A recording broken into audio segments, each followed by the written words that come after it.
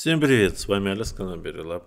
Работаем с картами с погоды на ближайшие дни и делаем вывод о катаклизмах.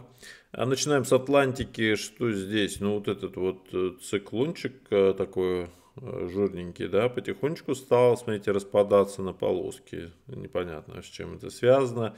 А, то есть потерял такую гомогенную структуру, но все-таки расположение у него довольно-таки большой, смотрите, от Исландии, Гренландии и опускается сюда вот до Канарских островов практически хвост. Ну и дальше можно а, даже увидеть его повороты к западу, где вот здесь вот другая уже система а, формируется штормовая.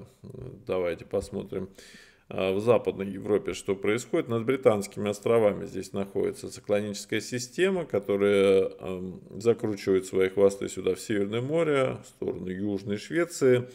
Но основной хвост вот идет э, от Нидерланды, Германия, получается, и доходит до Болгарии.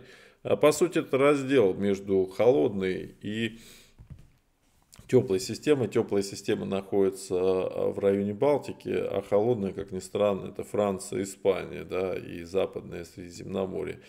И в связи с этим э, тоже мы видим такую систему раздела, которая проходит по северу Марокко, Алжира и доходит до Ливии. И дальше, смотрите, разворачивается, опять идет через Сахару. Опять в Сахаре у нас э, какие-то облачности.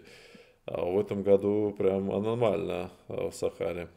А то же самое в Турции мы видим здесь все в облаках такие ливни. Да? Ну и здесь сейчас вот грозы можно было видеть тоже в прямом эфире э, происходит. Ну и в Турции вот э, вчера произошел э, сильное наводнение в Адремите, это провинция Баласикир. Видите, то есть дожди выпадают, вроде пошел дождик, а потом раз и сразу заливает все. Вот. То же самое происходит сейчас в Закавказье. Ну а вот в Восточной Европе мы видим установится, установился мощнейший антициклон, границы которого идут э, от Скандинавии, Беломорья, э, доходит э, до восточной границы Поволжья, до Урала, западного Казахстана, Каспия, Черноморья, Азовского моря, Украины, Беларусь, страны Балтии. А вот здесь как раз мы видим по границам молнии сейчас а, случаются. И, соответственно, стоит погода, но жалуются люди, особенно из Поволжья, вот из Самары Ксения писала в Телеграм, что у них а, ночью минус 3, минус 5 даже вот такие доходят заморозки. Днем вроде бы температура хорошая, а по ночам заморозки происходят. Вот. Но вот в Западной Сибири еще холоднее. Мы видим здесь э, Северный Урал, Западная Сибирь. Здесь такая типичная рябчатость, говорит о холодных воздушных массах, облачности. Вот Женя 86 вчера писал, что в городе Сургут ночью выпал снег, и снежный покров составил 1 э, километр. Ну а днем было всего лишь плюс 2, и были заряды крупы происходили. Так, юзер э, GN5 пишет, дарит три сердечка, спасибо вам большое. КСТ э, Death пишет, добрый день, спасибо за интересные обзоры, благодарю вас. Возник такой вопрос. Судя по вашим видео, показанных инструментов достаточно, чтобы составить реальный прогноз на пару дней вперед. А почему же тогда на разных сервисах прогноза погоды часто данные очень сильно различаются? А, и второй вопрос, можно ли рассчитать, как себя будут вести циклоны, на какое время вперед, чтобы спрогнозировать погоду. Ну и еще вопрос, вы работаете в этой сфере или учитесь, или это просто хобби? Это больше хобби. А, так, ну а теперь на ваши вопросы. Вот Виталий Вишталюк ответил частично, что на этом сайте это сборка с других метеосайтов и служб, а также в прогнозе на карте есть 4-5 моделей прогноза и часто немного разные. А можно с большой достоверностью прогнозировать на 3-5 дней, где-то вот такой период сейчас достигли. Естественно, все это делается за счет расчетов. И я хочу сказать, что если никаких внешних влияний нет, таких как, допустим, солнечный ветер, там еще какие-нибудь события, которые происходят, а, то, в принципе, расчеты очень э, четкие э, на ближайшие дни. А проблемы начинаются в сроках выше недели, потому что это долгосрочные прогнозы, и, как правило, там вероятность невысока. И поэтому, когда там какие-нибудь гисметео там делают прогноз на 30 дней вперед, это просто мусор. Это, я не знаю, зачем они, они это делают. А, он не говорит ни о чем. Поэтому, надеюсь, ответил на ваши вопросы. Так, э, Елена Прохорова пишет, Алекс, спасибо за каналы, всегда интересно слушать, вот, благодарю вас. Оксана Шевченко пишет, спасибо, Алекс, э, благодарю. Эм, так, э, давайте пойдем дальше, теперь посмотрим, что у нас в Центральной Азии. А в Северном Казахстане так и продолжается, да, здесь как собственный циклон такой сформировался, и даже южнее он получается более плотный. Смотрите, вот как раз в районе Ташкента, Бишкека, Оша, а, крупных городов Душамбе, здесь и горы, и с заходом на Балхаш, вот здесь вот такая а, мощная э, система сейчас а, находится облачная. Расчистилась наконец-то Ближний Восток, здесь около Персидского залива, уже пора, уже вовсю, да, как говорится, время жарить, давать жару. А зато, с другой стороны, смотрите, здесь Южная Индия, как со стороны Аравийского моря, так и со стороны Бенгальского залива. А здесь мы видим очень такая облачность плотная, больше, больше похожа на, штормовая, на штормовую. И, а, соответственно, здесь э, могут быть в Юго-Восточной Азии, сейчас мы видим здесь гроза происходит. Кстати, на Филиппинах тоже подобие шторма уже образуется вот здесь в Южно-Китайском море. А, так, ну а в Китае мы здесь видим вот две такие облачные полосы по широтам, расположенные чуть севернее. Да, заходит вот здесь уже в Монголию. Ну и в Прибайкале мы тоже видим сегодня грозы. Прямо сейчас вот, да, в прямом эфире наблюдается такая грузовая активность. И в Забайкале а мы видим довольно холодную такую рябчатость, да, и там судя по всему, температуры не особо высокие. Сейчас мы обязательно посмотрим температуры. А, по сути, этот, этот сюда опускается хвост от циклона, который находится севернее Таймыра. Но так вот над большей частью Якутии вроде бы неплохая погода. Это подтверждает Дима Данилов, который пишет, что у нас в центральной Якутии по-летнему тепло. До 20 градусов доходит. И ясно, да, у вас над Якутией стал антициклон и а, в общем-то, у вас сейчас температура поддерживается за счет э, собственных процессов, то есть никаких там заносов, заимствований, э, ничего такого не приходит, не прилетает. Э, у вас чисто за счет долгого дня вот такие вот процессы сейчас происходят. Так, давайте посмотрим Дальний Восток на Магаданской области здесь есть э, облачность э, на Чукотке, немножко совсем на Камчатке, но вот основной хвост находится так через Курильские острова, происходит немножко Сахалин задевает, а Японию и дальше идет сюда в сторону Южного Китая.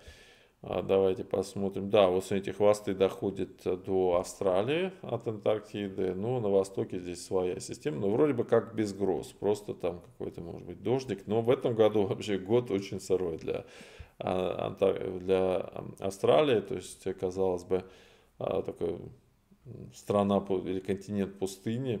Но в этом году там прям заливает и летом, и зимой мы видим заливает сейчас. Ну, уже скоро начнется зима там. Так, Южная Африка тоже, смотрите, тоже облачность по югу, по востоку здесь наблюдается. И вот, смотрите, опять, опять вот этот вот перст идет все в одном направлении, в сторону э, Рио-Гранду-Зул. Э, и вот пришла новость, как мы ожидали, то, что вчера сильные дожди вызвали сильные наводнения в порту Алегри и Рио-Гранду-до-Сул. То есть э, вот эта вот проблемная зона, вы знаете, такое ощущение, как будто там реально что-то нагрешили, а, кого-то прогневали, но потому что вот объяснений других нет. Почему, смотрите, громадные, это же громадные территории, тысячи километров, почему именно сюда? Смотрите, вот прям нам подмигивает сейчас, да, молнии а почему именно сюда доходят вот эти длиннющие хвосты, да, они могли бы, допустим, сюда доходить или севернее, но вот прямо вот в эту Рио Гранде Сул, и это продолжается уже, мне кажется, э, три месяца, три или четыре месяца мы наблюдаем вот эту вот картину. То есть там в воде уже все, понимаете, в воде уже некуда деваться, она заняла там все низины, она даже не стекает. Так, э, север Бразилии здесь и Суринам, Венесуэла, здесь такие вот э, супер ячейки более характерные, да. Вот здесь циклон, да, формируется с хвостом, так, который сюда в сторону Панамы уходит. И, смотрите, проблема сохраняется в Штатах. Здесь, конечно, все очень серьезно. Мы видим сразу три системы или четыре даже можно выписать. Но вот сам циклон находится у Гудзонного залива, вот ее хвост идет все Ньюфаундленд, опускается и вот заходит в Мексиканский залив. Это все понятно. Здесь вот как раз вот эти системы а, грозовые. Но вот эти вот две, смотрите, системы, ведь они же абсолютно отдельные. Вот эта вот область низкого давления. Как грибочек, смотрите, такой грибочек, да, да немножко лохматый, но а, вот ножка его, а вот а, шляпка. А, но да, и мощные, просто мощнейшие здесь э, грозы. Вот Ольга Шаламова об этом пишет, что 22 мая был торнадо в районе озера Белтон-Лейк э, в Техасе. Мы раньше там жили, недалеко от города Темпл. Это очень-очень не характерное для того места. А что более удивительно, там возвышенность, я думал, торнадо только по плоским равнинам ходит. Нет, это, вы знаете, вот это кто-то тоже вброс сделал такое. Я тоже раньше читал, что торнадо только на этих, на плоских землях, на великих равнинах, а, там и все. Но все закончилось тем, что торнадо разнес мебель на моем балконе. Ну, это терраса там где-то 5 на 3 метра. Вот. И мебель там была в сложном состоянии, уже была осень. И почему я понял, что это торнадо? Потому что мебель сначала в одну сторону снесло, там разбило, а потом все это дружно в другую сторону. Вот это характерный признак а, для торнадо. Ну и, в общем-то, сообщения потом были, что зафиксировали торнадо. Так что это не мои фантазии. Но полностью в пух и прах это было разбито в прошлом году. А когда, помните, городок Дефонс, там находится, там еще одно слово, я постоянно забываю, из трех слов э, состоит, это во французской части Швейцарии. Он находится на высоте полтора километра и в Юрских горах, посреди Юрских гор. И там, представляете, был вот этот торнадо, который снес вообще все там, э, если вы помните, июнь, по-моему, прошлого года, вот это событие, которое тоже все обсуждали в научных кругах, почему и как это вообще могло состояться на такой высоте.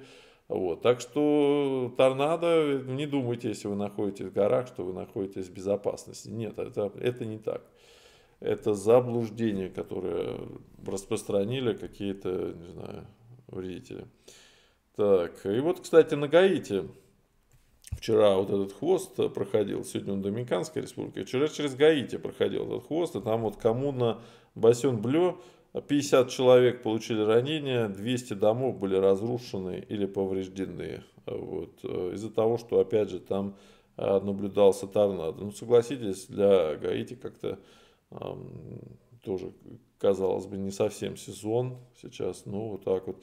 В Мексике 9 человек погибли, более 60 пострадали в результате обрушения сцены э, в штате Нуэва-Леон. Ну, там, кстати, сцена была, это было какие-то выступление одного из кандидатов в президенты в городе Сан-Педро Гарса Гарсия.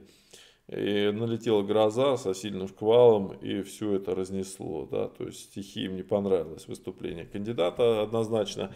А вот, но да, вот о чем мы говорили, что, что вот эта энергия, которая поступила на нашу Землю, в итоге приводит к тому, что сейчас мы наблюдаем такие процессы во множественных местах на нашей планете. Ну, здесь в северо-западной Канаде, здесь вроде бы как обычный такой э, циклон находится. А давайте посмотрим, что у нас э, по пожарам сейчас. Э, ну, в Канаде вроде бы все потушено, здесь по северу непонятно там, что это пыль или дым. А в Южной Америке все прекрасно, немножко здесь в Чили там тоже пыль, скорее всего, Сахара, здесь Саудовская Аравия, пылевые там Индия пылит сейчас, да, пока дождики не польют. Вот здесь Китай что-то довольно-таки долго горит. И вчера вот были сообщения, ну вот здесь видно в Забайкале очень такие небольшие очаги и в северной части тут Иркутской области, в Якутии, а в Приамурье мы видим, да, здесь а, возгорания какие-то есть. Ну вот в Бургузинском районе Бурятии наращивают группировку, на тушение задействовано 133 человека, вертолет там работает. Общая площадь составила 250 гектаров. Ну, это мелочи. То есть 250 гектаров это немного абсолютно для а, пожаров. То есть это такие контролируемые пожары, да, контролируемые процессы, вот так можно назвать. А, ну что, давай теперь посмотрим, как у нас по температурам-то дела обстоят. Вот у нас видно, что Балтика прям здесь э, по кругу сегодня э, радуется такому теплому, прекрасному дню, даже жаркому, наверное, да.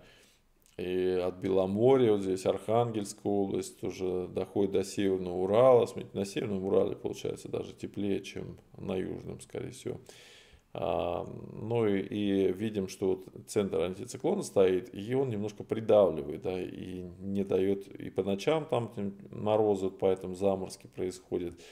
Э, и тепло вот идет отсюда, со стороны Каспия, в сторону Азовского моря, затем тепло у нас Украина, Молдова, а, довольно хорошо. Вот Snake X пишет, привет, Алекс, спасибо за обзор. В Молдове жарко, плюс 27 градусов и нет дождей что нехорошо. И три сердечка. Спасибо большое. Так, и Дэнни тоже пишет, «А в Херсоне сегодня впервые 30 а, градусов, ночью плюс 15, лето началось. А прекрасная солнечная погода, но надо бы дождей побольше. Трава уже вся высохла даже в лесу. Вот видите, какие про проблемы, да? Юзер G9 пишет, благодарю за обзор, три сердечка дарит, спасибо вам большое. Lady Class Club пишет, «Э, Алекс, помогите, пожалуйста, разобраться, что происходит на территории до того, как атмосферное давление начнет меняться. Поясню, почему спрашиваю. Мой организм что-то чувствует э, в природе где-то за 6, 8, 12 часов, именно до того, как начинает сильно меняться атмосферное давление. Причем я атмосферное давление наблюдаю по механическому барометру. То есть должно быть точно а что может такого происходить, что влияет на самочувствие? Уже много раз такое наблюдаю. Благодарю сердечко и каналу процветания. Спасибо вам большое. Да, отличные вопросы. А что происходит? А происходит следующее. Вот смотрите, вот здесь у нас э, антициклон, э, здесь э, циклон. Так вот, под циклоном, когда находится человек, он чувствует, как ионы поднимаются от Земли в сторону неба. Вот, поэтому, в принципе, и давление в связи с этим оно и низкое. А при антициклоне наблюдается совсем другой процесс, когда ионы а, идут а, к Земле, поэтому давление высокое. И вот когда происходит смена, допустим, вот сюда, на место, где был антициклон, движется циклон, отсюда запада, как правило, то как раз за несколько часов до этого меняются ион, потоки ионов. Да? И прежде всего вы начинаете чувствовать, что э, ионы, которые шли сверху к Земле, перестают эти потоки. Поэтому у вас такие ощущения. Да? И еще барометр не поменялся сильно, а вы уже по ионным потокам, ваши сенсоры все это чувствуют. Ну и перед грозой тоже за несколько часов, допустим, я когда делаю пробежку утром, там в 7 часов утра, там, а, я чувствую, что в этот день будет гроза. Хотя ясное небо, ничего там не предвещает, вроде бы все прекрасно. И гроза там в 6 вечера только собирается. А уже утром можно сказать, что будет гроза. Вот так вот. И дело здесь не с прогнозом, а именно с, ощущениями. Да? Так, надеюсь, ответил на ваш вопрос. User HC6 пишет, спасибо за информацию. Благодаря вам, вашему комплексному подходу стало лучше разбираться в прогнозах. Вот такой образовательный эффект э, ваших видео. Спасибо, очень приятно, когда слышать, что э, помогает э, лучше людям разбираться. А, так, Локи младший пишет, Алекс, спасибо за обзор, лета очень не хватает. Э, так, э, хотя бы в 25-30 градусов. Э, скоро июнь, а у нас в Татарстане средняя температура только где-то между 8 и 15, а 15 и 8 градусов. Вот, понятно. А, три сердечка, вот это тебе лайк. О, спасибо большое. Да, к сожалению, вот у вас, видите, вы попали в холодный сектор, и здесь такие температуры невысокие. А, ну вот э, давайте возьмем вот Егор, который пишет из Ленинградской области. Шикарный день.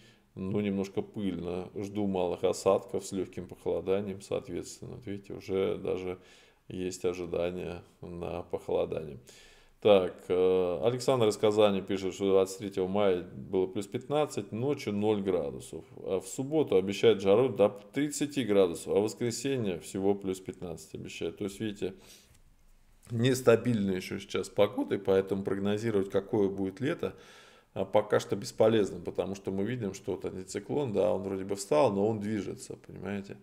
А вот э, нужно достичь того момента, когда мы увидим, что антициклон зафиксировался. Вот когда он зафиксируется, тогда мы можем сказать, все, вот он встал. И, да, ну, знаете, с такой солнечной погодой, как в этом году, мне кажется, они не зафиксируются. Будут постоянно сдвиги происходить. Так, э, Виталий Вишталюк пишет, спасибо, сегодня одна гроза была, два раза загремела, а Денис сегодня много гроз был, у меня за сезон 24 грозы. Вот у вас очень богатый, да, почему? Потому что у вас как раз проходит эта зона а, между э, высокими температурами и низкими. Э, между высоким и умеренным давлением. Ну и плюс обратить внимание, вот сюда вот вклинивается, да, такой со стороны Таймыра, Ямала, вот эта холодная погода на северный Казахстан, как будто вот э, сюда в сторону Каспия прям направленная, эти струи холодного ветра. А в Центральной Азии вроде бы как тепло, но не жарко для этого периода абсолютно для конца мая это температуры 27-31 градус, это в Ашхабаде это вообще плюс 25, там уже может быть под 40 в этот период запросто и даже выше 40. Ну и отсюда вот выносится теплый воздух а, в сторону Сибири, в сторону немножко доходит до Якутии, но хотя Якутия она сама себя подогревает уже и, смотрите, в восточной части, и на Колыме, и Магаданской области уже плюсы. Вот остались только отрицательные температуры в Чукотке, кое-где Камчатке. Относительно прохладно у нас Приморье сейчас. Э, в Китае хорошо, практически на всей территории. Таких катаклизм начал разогреваться здесь Тибет, э, вот, в Индии здесь э, сейчас жаркие температуры, он 47 градусов, видите, Джодхупур достиг 47 градусов. Вот это типично перед сезоном а, муссонов. Если сравнить Аравийский полуостров, то здесь только 41 градус. Пока что еще все терпимо. В Кувейте плюс 34, даже еще комфортно. А, так, ну здесь э, юг Австралии немножко охлаждается, южный остров Новой Зеландии. Давайте посмотрим в Америке, что у нас. А в Америку у нас занос э, теплого воздуха происходит в сторону Северной Канады, но здесь она тоже уже сама подогревается в районе реки Маккензи на Аляске там. Но вот обратите внимание, где не подогревается в этом году, это в Гренландии.